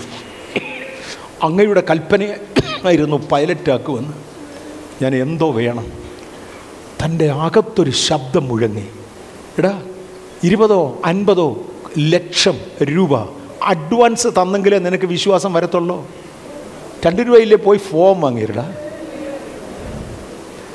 ആകെ ഉണ്ടായിരുന്ന രണ്ട് രൂപയും കൊണ്ടുപോയി പൈലറ്റ് ട്രെയിനിങ്ങിന് വേണ്ടി ആപ്ലിക്കേഷൻ ഫോം വാങ്ങിച്ചു. രാജേഷ് ഇന്നൊരു പൈലറ്റാ. ചിലതിന് അഡ്വാൻസ് ദൈവം തന്നെന്ന് വരും. ചിലതിന് അഡ്വാൻസ് തന്നില്ലെന്ന് വരും. നീ പോ. ഞാൻ ഈ ജാതിയെ നിന്റെ കയ്യിൽ തന്നിരിക്കുന്നു. ദൈവത്തിന്റെ വാഗ്ദത്വങ്ങൾ ഇൻ അഡ്വാൻസാ നമ്മുടെയൊക്കെ മുമ്പിൽ എത്രയോ അഡ്വാൻസ് വാണിങ്ങുകൾ കർത്താവ് തന്നു ഇൻഫർമേഷൻ കർത്താവ് തന്നു വാഗ്ദത്തങ്ങൾ കർത്താവ് തന്നു. അത് ദൈവത്തിന് വേണ്ടി ഒന്ന് ഏറ്റുവാങ്ങാം. ഞാൻ ഒരു ഒറ്റ ചാട്ടം നിന്ന് ചാടട്ടെ. എങ്ങനെയും കുറേ ഇന്ന് തീർക്കണമെന്ന് എനിക്ക് താല്പര്യമുണ്ട്. കണ്ട് അദ്ദേഹം ദൈവത്തിങ്കിൽ നിന്ന് വാഗ്ദത്വം ഏറ്റുവാങ്ങി. എന്നിട്ടും പേടി മാറുന്നില്ല. എനിക്കും ഇങ്ങനെ പലപ്പോഴും വാഗ്ദത്തം കേട്ടാലും പേടിയാ. നിങ്ങൾ ചിലരങ്ങനെ എന്നെ എന്നെ പോലല്ലേ? ഞാൻ ബലഹീനനാണ് അതുകൊണ്ടായിരിക്കാം. ഈ വാഗ്ദത്തം കേട്ടിട്ടും എന്റെ പേടി മാറുന്നില്ല. എന്താ പറഞ്ഞ് നിനക്കങ്ങ് വലിയ പേടിയാണെങ്കിൽ ആളിനെ തിരഞ്ഞെടുക്കാൻ പറഞ്ഞു മുന്നൂറ് പേരെ തിരഞ്ഞെടുത്തു. ആളെല്ലാം കൂടെ കൂടിയിട്ടും ഗിതയോന്റെ പേടി മാറുന്നില്ല. കാരണം താഴ്വരയിൽ വന്നങ്ങ് പരന്ന് വെട്ടിക്കിളി പോലെ പരന്നു കിടക്കുന്ന മിഥ്യാന്യ സൈന്യത്തെ നേരിടാൻ എന്നെക്കൊണ്ട് എന്നാ കഴിയും? ഞാൻ പണ്ടൊരിക്കൽ ഇതെടുത്ത് പറഞ്ഞത് എനിക്ക് ഓർമ്മയുണ്ട്. ഞാൻ അവിടെ വരാൻ നോക്കട്ടെ വരുത്തുമോ എന്നറിയത്തില്ല പണ്ടൊരിക്കൽ പറഞ്ഞതാ ആ എന്നെ കൊണ്ട് എങ്ങനെ കഴിയും സാധ്യമല്ല. മുന്നൂറ് പേരെ കിട്ടിയിട്ടും സാധ്യമല്ല. കർത്താവ് പറഞ്ഞ് നിനക്ക് ഇനിയും പേടിയാണെങ്കിൽ നിന്റെ ആയുധവാഹകനെയും കൂട്ടിക്കൊണ്ട് നീ തണ്ട ശത്രുപാളയത്തിലോട്ട് ചെല്ല്. ശത്രുപാളയത്തിൽ ചെന്നു അവിടെ ഒരു സ്വപ്നം വിശദീകരിക്കുന്ന കേട്ടു. ഇന്ന് സ്വപ്നം തൊടുന്നില്ല. ആ സ്വപ്നം വിശദീകരിച്ച് ശത്രുക്കൾ തമ്മിൽ തമ്മിൽ പറഞ്ഞു ഇത് ഗിതയോന്റെ വാള നമ്മൾ തോറ്റടാ. ഈ വാക്കുകളിലൂടെ ദൈവശക്തി ധൈര്യം തന്റെ അകത്തേക്ക് കയറി. പണ്ടൊരു നോട്ടത്തിലൂടെ ദൈവം ശക്തി പകർന്നതാ. പിന്നെ ചില അനുഭവങ്ങൾ തന്റെ ജീവിതത്തിലുണ്ട്. ഒടുവിൽ ധൈര്യം പകരേണ്ടതിന് ശത്രുപാളയത്തിൽ നിന്ന് കേട്ട ഒരു വാക്ക് സ്വപ്നവും അർത്ഥവും കേട്ടപ്പോൾ ഗീതയോൻ ശക്തിപ്പെട്ടു. ഗീതയോന് മനസ്സിലായി ഞാൻ പഴയ ഭാഷയിൽ ഞാൻ അപ്പോസ്തോലനാ. ഞാൻ ദൈവത്താൽ തിരഞ്ഞെടുക്കപ്പെട്ടവനാ. ഇതിനകത്തിരിക്കുന്ന ചിലർക്ക് തോന്നുന്നുണ്ടോ? ദൈവം എന്നെ തിരഞ്ഞെടുത്തതാ. ഒന്നിനു പുറകെ ഒന്നായി സാഹചര്യങ്ങളിലൂടെ ദൈവം ഇടപെടുകയാ. അദ്ദേഹം നേരെ എഴുന്നേറ്റ് ഇസ്രയേൽ പാളയത്തിന്റെ അകത്തോട്ട് വന്നേച്ച് ഒരൊറ്റ വിളി വിളിച്ചു വരുവീൻ യഹോവ ഗിതയോന്റെ മിഥ്യാന്റെ പാളയത്തെ നമ്മുടെ കയ്യിൽ തന്നിരിക്കുന്നു. ഇന്ന് പകൽക്കാലം അകത്ത് കിട്ടിയ വെളിപ്പാട് തന്റെ ജനത്തിന്റെ മുമ്പിൽ പരസ്യമായി വിളിച്ചു പറയുവാൻ ഗഡ്സ് ലഭിച്ചവർക്കായി ദൈവത്തെ സ്തുതിക്കുന്നു. വെളിപ്പാടിന്റെ കൈമാറ്റം. നേതൃസ്ഥാനത്തിന്റെ പ്രത്യേകത വെളിപ്പാടിന്റെ കൈമാറ്റം. ഇത് ശത്രുവിന്റെ വായിൽ കൂടെയാ കൊണ്ടുവന്നത്. ചുരുക്കട്ടെ അന്ന് രാത്രി ലേഹോവയുടെ വ്യാപാരം അവന് വേണ്ടി ഉണ്ടായി. ഈ പതിനഞ്ചാമത്തെ വാക്യത്തിൽ താനത് കമ്മ്യൂണിക്കേറ്റ് ചെയ്ത് വായിക്കണ്ട. ഇരുപത്തിരണ്ടാമത്തെ വാക്യത്തിൽ ഏഴിന്റെ ഇരുപത്തിരണ്ടിൽ വരുമ്പോൾ ശത്രു ചിതറി ഇസ്രയേൽ വ്യത്യസ്ത ഇടങ്ങളിലായി വന്ന് ഒരുമിച്ച് ചേർന്ന് ശത്രുവിനെ തോൽപ്പിച്ചു. അനുഗ്രഹങ്ങളുടെയും ശാപങ്ങളുടെയും പ്രധാന ലക്ഷണങ്ങളിൽ ശത്രുവുമായി ബന്ധപ്പെട്ട ഒന്നാണ്. നിനക്കെതിരെ വരുന്ന ശത്രു ഏഴ് വഴിയായി തിരിഞ്ഞോടും. നീ ഏഴിടത്ത് നിന്ന് ഒന്നായി ചേരും. അവനെതിരെ യുദ്ധത്തിന് വന്ന ശത്രു ഏഴ് വഴിയായി പല വഴിയായി തിരിഞ്ഞോടാൻ തുടങ്ങി. ഇതുവരെയും വരാതിരുന്ന ഇസ്രയേൽ എഴുന്നേറ്റ് പല വഴികളിൽ നിന്ന് വന്ന് ഗിതയോനോട് ചേരാനിടയായി അന്ന് രാത്രിയിൽ ഒരു മഹാജയമുണ്ടായി ശത്രു ചിതറി ജനം ഒന്നിച്ചു. എട്ടാം അധ്യായത്തിന്റെ ഇരുപത് ഇരുപത്തിയെട്ടാമത്തെ വാക്യം ഒന്ന് വായിച്ച് ഞാൻ അവിടുന്ന് അടുത്തൊരു സ്റ്റെപ്പിലേക്ക് കയറാൻ പോകുക എട്ടിന്റെ ഇരുപത്തെട്ട് നാൽപ്പത് സംവത്സരം വായിച്ചു. എന്നാൽ മിഥ്യാൻ തല പൊക്കാതെ വണ്ണം ഇസ്രായേൽ മക്കൾക്ക് കീഴടങ്ങിപ്പോയി. ഗിതയോന്റെ കാലത്ത് ദേശത്തിന് നാൽപ്പത് സംവത്സരം സ്വസ്ഥതയുണ്ടായി. ഗിതയോന്റെ കാലത്ത് ഓ ഏതൊക്കെ വാക്കുകളല്ലേ? ഗിതയോന്റെ കാലത്ത്. ഗിതയോനെ അങ്ങയുടെ പേരിൽ ഒരു ഇറ ഒരു കാലം അറിയപ്പെടാൻ അങ്ങ് ആരാ? ശത്രുവിനെ ഭയന്ന് നടന്നവനെ അടിമത്വത്തിന്റെ കീഴിൽ കിടക്കുന്നവനെ മിഥ്യാനിയെ ഭയന്ന് കഴിഞ്ഞവനെ അങ്ങയുടെ കാലമെന്ന് പറയുവാൻ അങ്ങ് ആരാ ഇന്നിതിനകത്തിരിക്കുന്ന ദൈവ പൈതലേ തമ്പുരാൻ നിങ്ങളിൽ ചിലരുടെ പേരിൽ ചില കാലങ്ങൾ എഴുതട്ടെ. നിങ്ങളിൽ ചിലരുടെ പേരിൽ ചില കാലങ്ങൾ എഴുതട്ടെ. ഇന്നാരുടെ കാലം ഓ ഗോഡ് അപ്പന്റെ ഭരണകാലം ഏറെക്കുറെ കഴിഞ്ഞു.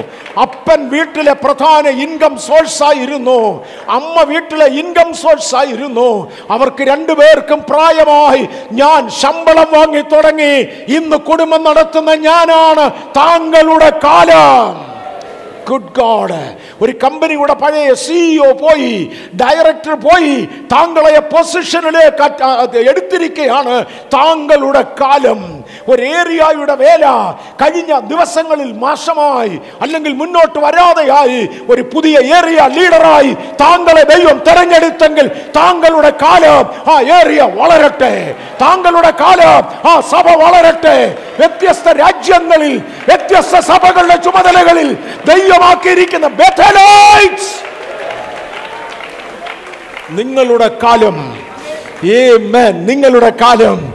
എന്ന കാലത്തിന്റെ പ്രത്യേകം എന്നറിയാമോ? സ്വർഗത്തിലെ ദൈവത്തിന്റെ സാന്നിധ്യം നിങ്ങളോടുകൂടെ ഉണ്ട്. നിങ്ങൾ ഒറ്റയ്ക്കല്ല ഒരിക്കലും ഒറ്റയ്ക്കല്ല.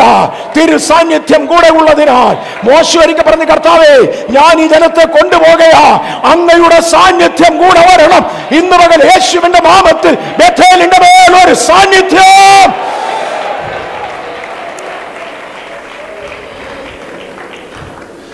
അദ്ദേഹത്തിന്റെ കാലത്ത് ഗിതയോന്റെ കാലത്ത് നാൽപ്പത് സംവത്സരം. നാൽപ്പത് ഏറെക്കുറെ ഒരു നല്ല കണക്കാണ് ബൈബിളിലെ. ഒരു മൂന്ന് കൊല്ലം ഒന്നും മുമ്പേ പറഞ്ഞ പോലെ ഏഴ് കൊല്ലം ഒന്നും ഒന്നും അല്ല.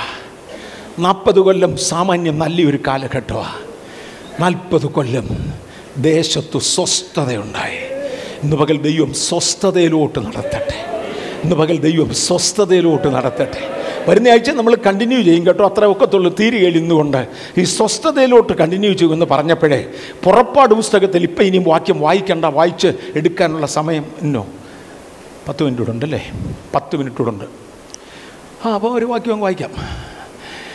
സ്വസ്ഥത എന്ന് പറയുമ്പോൾ രണ്ട് മൂന്ന് വശങ്ങൾ ഞാൻ തൊടാൻ പോവുക സ്വസ്ഥതയുടെ രണ്ട് മൂന്ന് വശങ്ങൾ. പുറപ്പാട് പുസ്തകം പതിനഞ്ചാം അധ്യായത്തിന്റെ ഇരുപത്തിയാറാമത്തെ വാക്യം. നിന്റെ ദൈവമായ യഹോവയുടെ വാക്ക് നീ ശ്രദ്ധയോടെ കേട്ട് അവന് പ്രസാദമുള്ളത് ചെയ്യുകയും അവന്റെ കൽപ്പനകളെ അനുസരിച്ച് അവന്റെ സകല വിധികളും പ്രമാണിക്കുകയും ചെയ്താൽ ഞാൻ മിശ്രൈമീർക്ക് വരുത്തിയ വ്യാധികളിൽ ഒന്നും നിനക്ക് വരുത്തുകയില്ല. ഞാൻ നിന്നെ സൗഖ്യമാക്കുന്ന യഹോവ ആകുന്നു എന്ന് അരുളി ചെയ്തു. ഇത് ഇടയ്ക്കിടയ്ക്ക് ഞാനിവിടെ വായിക്കുന്ന വാക്യമാണ് പക്ഷെ ഇന്ന് രാവിലെ ഒന്നുകൂടെ ഇവിടെ പറയാൻ കർത്താവിനോട് പറഞ്ഞു. അതുകൊണ്ടാണ് പത്ത് മിനിറ്റ് എക്സ്ട്രാ എടുത്തത് ചെയ്യാമെന്ന് വിചാരിച്ചത്. വായിക്കാമെന്ന് വീണ്ടും ഞാൻ ഓർത്തത്.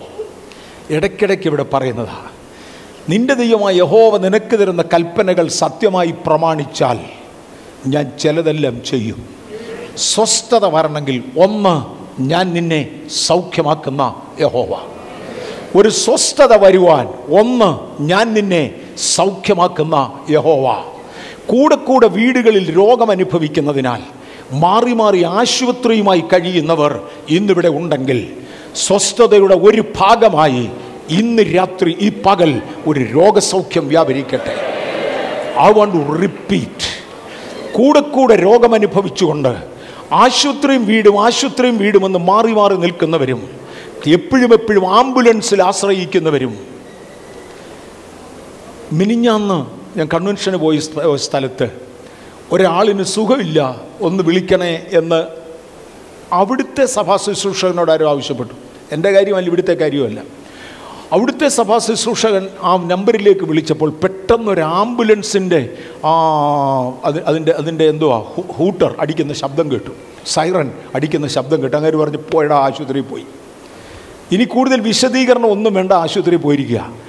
ഞാൻ ചെന്തു പറ്റി. ആ പുള്ളി എന്നും ഇങ്ങനെ. എന്നും എപ്പം മിക്കവാറും വിളിച്ചാൽ ഇതാണ് ശബ്ദം. ആംബുലൻസിലാണ് ഈ പുള്ളി. ഇന്ന് പകൽ കൂടെ കൂടെ ആംബുലൻസ്. അത് പെട്ടെന്ന് ദൈവാത്മാവ് ഇടപെടുക ഇന്നിവിടെ വായിക്കാൻ എന്നോട് ഒന്നുകൂടെ ആവശ്യപ്പെട്ടേ കൊണ്ടാണ് ഞാൻ വായിച്ചേ. നീ എന്റെ കൽപ്പനകൾ പ്രമാണിച്ചാൽ നീ എന്റെ വ്യവസ്ഥകളിൽ നിന്ന് മാറാതിരുന്നാൽ ഇത് ആരായി പറയുന്നത് പ്രപഞ്ച സൃഷ്ടാവാ. പ്രപഞ്ച സൃഷ്ടാവാ. ആകാശത്തെ തന്റെ ചാണുകൊണ്ട് അളക്കുന്നവൻ. ഭൂമിയിലെ പൊടിയെ നാഴിയിൽ കൊള്ളിക്കുന്നവൻ പർവതങ്ങളെ വെള്ളിക്കോൽ കൊണ്ട് തൂക്കുന്നവൻ തിരാശു കൊണ്ട് ഭൂമിയിലെ പൊടിയെ തൂക്കുന്നവൻ ഇന്ന് പകൽ നിത്യനായ ദൈവമായവൻ പറയുകയാണ് നീ എം വിളിച്ചോണ്ടാ നമ്മിൽ ഓരോരുത്തരെ വിളിച്ചോണ്ടാ എന്റെ കൽപ്പനകൾ ആ ദൈവത്തിന്റെ കൽപ്പനകൾ യോഗ്യമായി അനുസരിക്കുമെങ്കിൽ ഞാൻ മിശ്രയിലേക്ക് വരുത്തിയ ബാധകളിൽ ഒന്നും നിനക്ക് വരുത്തുകയില്ല വ്യാധികളിൽ ഒന്നും നിനക്ക് വരുത്തുകയില്ല. ഞാൻ നിന്നെ സൗഖ്യമാക്കുന്ന ഹോവ ഇന്ന് പകൽ ഒരു ദൈവ സാന്നിധ്യം ഇതിനകത്ത് വ്യാപരിക്കട്ടെ. ഇന്ന് പകൽ ഒരു ദൈവക്രിയ ഇതിനകത്ത് നടക്കട്ടെ. യേശുവിന്റെ മാമത്തിൽ കൂടെ കൂടെ അടിക്കുന്ന രോഗത്തിന്റെ അലകൾ കീഴടങ്ങാം. അത് യേശുവിന്റെ മാമത്തിൽ കീഴടങ്ങട്ടെ. അത് നിന്നെ ഒന്നും ചെയ്യത്തില്ല. ഞാൻ നിന്നെ സൗഖ്യമാക്കുന്നേ ഹോവാ രണ്ടാമതൊരു വാക്യം വായിച്ചോട്ടെ. നമുക്ക് ഒന്നിൽ ഒടുവിൽ ഒന്നുകൂടെ പ്രാർത്ഥിക്കാം. പത്തൊമ്പതാം അധ്യായത്തിന്റെ അഞ്ചാം വാക്യം. പുറപ്പാട് പത്തൊമ്പതിന്റെ അഞ്ച്. ആകയാൽ നിങ്ങൾ എന്റെ വാക്ക് കേട്ട് അനുസരിക്കുകയും എന്റെ നിയമം പ്രമാണിക്കുകയും ചെയ്താൽ നിങ്ങൾ എനിക്ക് സകല ജാതികളിലും വെച്ച് പ്രത്യേക സമ്പത്തായിരിക്കും. ഭൂമിയൊക്കെയും എനിക്കുള്ളതല്ലോ. നിങ്ങൾ എനിക്ക് സകല ജാതികളിലും വെച്ച് ഒരു പ്രത്യേക സമ്പത്ത്. പ്രത്യേക സമ്പത്തിനെ പ്രത്യേകമായി പരിപാലിക്കുന്ന ദൈവം. പ്രത്യേക സമ്പത്തിനെ ഒരിക്കലും സാധാരണത്തിന്റെ കൂട്ടത്തിൽ ഇട്ടുകളയാത്ത ദൈവം. പ്രത്യേകമായി ചിലരെ പരിപാലിക്കുവാൻ ആ സ്വസ്ഥതയ്ക്ക് താങ്കൾ പ്രത്യേക സമ്പത്താണ്. ഇന്ന് പകൽ ഒരു പ്രത്യേക സമ്പത്ത്. വീണ്ടും വരുന്ന ആഴ്ച വായിച്ചേക്കാം. ഇരുപത്തിമൂന്നിന്റെ ഇരുപത്തഞ്ച് മുതൽ ഇരുപത്തേഴ് വരെ. ദയവായി വായിച്ചാലും പുറപ്പാട് ഇരുപത്തിമൂന്നിന്റെ ഇരുപത്തഞ്ച് മുതൽ ഇരുപത്തിയേഴ് വരെ ഞാൻ നിന്റെ അപ്പത്തെ അനുഗ്രഹിക്കും. എന്നിട്ട് വിശദീകരിക്കും. ആ. നിങ്ങളുടെ ദൈവമായ യഹോവയെ തന്നെ സേവിപ്പിൻ. ആ. എന്നാൽ അവൻ നിന്റെ അപ്പത്തെയും വെള്ളത്തെയും അനുഗ്രഹിക്കും. നിൽക്കട്ടെ. നിന്റെ അപ്പത്തെ അനുഗ്രഹിക്കും. വെള്ളത്തെ അനുഗ്രഹിക്കും. തിന്നുന്നതും കുടിക്കുന്നതും ശരീരത്തിൽ പിടിക്കും. അത് ആരോഗ്യമായി മാറും. ഞാൻ നിന്റെ അപ്പത്തെ അനുഗ്രഹിക്കും നീ രുചികരമായി ഇത് ഭക്ഷിക്കും. ഞാൻ നിന്റെ വെള്ളത്തെ അനുഗ്രഹിക്കും നീ ആരോഗ്യകരമായി ജീവിക്കും. ഇന്ന് പകൽ യേശുവിന്റെ മാമത്തിൽ എന്റെ ജനത്തിന്റെ അപ്പം വാഴ്ത്തപ്പെടട്ടെ. ഇന്ന് പകൽ യേശുവിന്റെ മാമത്തിൽ എന്റെ ജനത്തിന്റെ വെള്ളം അനുഗ്രഹിക്കപ്പെടട്ടെ. എന്റെ കർത്താവ് പറയുകയാണ് ഞാൻ നിന്റെ അപ്പത്തെയും ഞാൻ നിന്റെ വെള്ളത്തെയും അനുഗ്രഹിക്കും. തിരിച്ച് നമുക്ക് പറയാം കർത്താവേ ഞാൻ അങ്ങയുടെ കൽപ്പനകൾ അനുസരിക്കും. ഞാൻ അങ്ങയുടെ പ്രമാണത്തിൽ നടക്കും. ഇന്ന് പകൽ ഒരു ബന്ധത്തിൽ വരികയാണ്. ഞാൻ അങ്ങയുടെ കൽപ്പനകൾ അനുസരിക്കും. അതേ കുഞ്ഞെ ഞാൻ നിന്റെ അപ്പത്തെ വെള്ളത്തെ അനുഗ്രഹിക്കാം. അടുത്തത് ഞാൻ രോഗങ്ങളെ നിന്റെ നടുവിൽ നിന്ന് അകറ്റിക്കളയും. ഞാൻ രോഗങ്ങളെ നിന്റെ നടുവിൽ നിന്ന് അങ്ങോട്ട് അകറ്റും. ഓൾറെഡി രോഗശാന്തിയെക്കുറിച്ച് ഞാനൊന്ന് പറഞ്ഞു കഴിഞ്ഞു. ഞാൻ നിന്നെ സൗഖ്യമാക്കുന്ന ഹോവ ഞാൻ രോഗങ്ങളെ നിന്റെ നടുവിൽ നിന്ന് അകറ്റും. മുമ്പിലത്തെ വാക്യത്തിൽ പറഞ്ഞു സൗഖ്യമാക്കുമെന്ന് ഇപ്പം പറഞ്ഞു രോഗം വരാതെ സൂക്ഷിക്കും. ഞാൻ രോഗങ്ങളെ നിന്റെ നടുവിൽ നിന്ന് അകറ്റും. യേശുവിന്റെ മാമത്തിൽ കർത്താവേ ചില ചില ശരീരങ്ങൾ എന്നും രോഗമുണ്ടാകുന്ന ചില ശരീരങ്ങൾ രോഗത്തിൽ നിന്ന് അകന്നു മാറട്ടെ. യേശുവിന്റെ മാമത്തിൽ അകന്നു മാറട്ടെ. യേശുവിന്റെ നാമത്തിൽ അകന്നു മാറട്ടെ. ഞാൻ രോഗങ്ങളെ നിന്റെ നടുവിൽ നിന്ന് അകറ്റും. വായി- വായിച്ചു? ഗർഭം അലസുന്നവളും. മച്ചിയും നിന്റെ ദേശത്തുണ്ടാകുകയില്ല. ഗർഭം അലസുന്നവളും മച്ചിയും രണ്ടും രണ്ടാശയങ്ങളാ. ഒന്നൊരു കുഞ്ഞിനെ ഞാൻ പ്രതീക്ഷിക്കുന്നു ഇപ്പോൾ ഒരു നന്മ കിട്ടും. വേദപുസ്തക ഭാഷയിൽ നീ ഒരു വീട് വെക്കും കയറി താമസിക്കത്തില്ല. അത് ശാപമാണ് നീ വീട് വെച്ചു താമസിക്കാൻ പ്രതീക്ഷിച്ചു നീ താമസിക്കും. നിന്റെ കൈകളുടെ അധ്വാന ഫലം നീ തന്നെ തിന്നും. ഗർഭമലസുന്നവൾ നിങ്ങളുടെ ഇടയിൽ ഉണ്ടാകയില്ല. ഇന്ന നന്മ ഞാൻ പ്രതീക്ഷിക്കുന്നു പ്രാപിച്ചിരിക്കും. എന്റെ കുഞ്ഞ് പത്താം ക്ലാസ്സിന്റെ പരീക്ഷയ്ക്ക് എഴുതുകയാണ് ജയിച്ചിരിക്കും. എന്റെ കുഞ്ഞ് മാസ്റ്റേഴ്സ് ഡിഗ്രിക്ക് എഴുതുകയാണ് ജയിച്ചിരിക്കും. എന്റെ കുഞ്ഞ് ഇന്റർവ്യൂവിന് പോകുകയാണ് ജയിച്ചിരിക്കും. ഗർഭമലസുകയില്ല. യേശുവിന്റെ നാമത്തിൽ അങ്ങനെ സംഭവിക്കട്ടെ. രണ്ട് മച്ചി എത്ര ചെയ്തിട്ടും പ്രയോജനപ്പെടാത്ത എത്രയൊക്കെ അധ്വാനിച്ചിട്ടും ഫലമില്ലാത്ത ഫലം കൊടുക്കാത്ത അവസ്ഥയിൽ നിന്ന് സഭ മാറട്ടെ. ഗർഭമലസുന്നവളും മച്ചിയും നിന്റെ വെള്ളവും അപ്പവും അനുഗ്രഹിക്കപ്പെട്ടാൽ ഇതൊക്കെയാ സംഭവിക്കുന്നത്. ദൈവം അത് ചെയ്യട്ടെ. താവട്ടെ നിന്റെ ആയുഷ്കാലം ഞാൻ പൂർത്തിയാക്കും. നിന്റെ ആയുഷ്കാലം ഞാൻ പൂർത്തിയാക്കും. ഞാൻ ഒരിക്കൽ കർത്താവിനോട് പ്രാർത്ഥിച്ചത് എഴുപതാകണേന്ന്. കർത്താവ് പൂർത്തീകരിച്ചു. മൂന്ന് വർഷം എസ്റ്റായും തന്നു സ്വോത്രം ഞാൻ നിന്റെ ആയുഷ്കാലം പൂർത്തിയാക്കും. മരണഭീതിയിൽ കിടക്കുന്ന ചിലരെ ഇന്ന് പകൽക്കാലം പറ നോ എന്റെ ആയുഷ്കാലം കർത്താവ് പൂർത്തിയാക്കും. എന്റെ ആയുഷ്കാലം കർത്താവ് പൂർത്തിയാക്കും. ഈ വാക്യങ്ങൾക്കായി ഞാൻ ദൈവത്തെ സ്തുതിക്കുന്നു. ഞാൻ ഇവിടം കൊണ്ട് ഇന്ന് നിർത്താൻ പോകുകയാണ് ഇന്ന് പകൽ ദൈവകരങ്ങളിലേക്ക് നമ്മെ ഒന്നുകൂടെ ഏൽപ്പിക്കാം. എല്ലാ കണ്ണുകളും ദയവായി അടയ്ക്കും. കർത്താവും ദൈവവുമേ അടിയനെ ഏൽപ്പിച്ച തിരുവചനം അങ്ങയുടെ മുമ്പിൽ സഭയുടെ മുമ്പിൽ വയ്ക്കുവാൻ. കർത്താവ് അടിയന് തന്ന കൃപയ്ക്കായി സ്തോത്രം. ഞാൻ ഇവരെ യേശുവിന്റെ മാമത്തിൽ അനുഗ്രഹിക്കുന്നു. ഒരു ദൈവകൃപ ഈ ജനത്തിന്റെ മേലിരിക്കണേ. മഹത്വം അങ്ങേക്ക് യേശുവിന്റെ മാമത്തിൽ തന്നെ.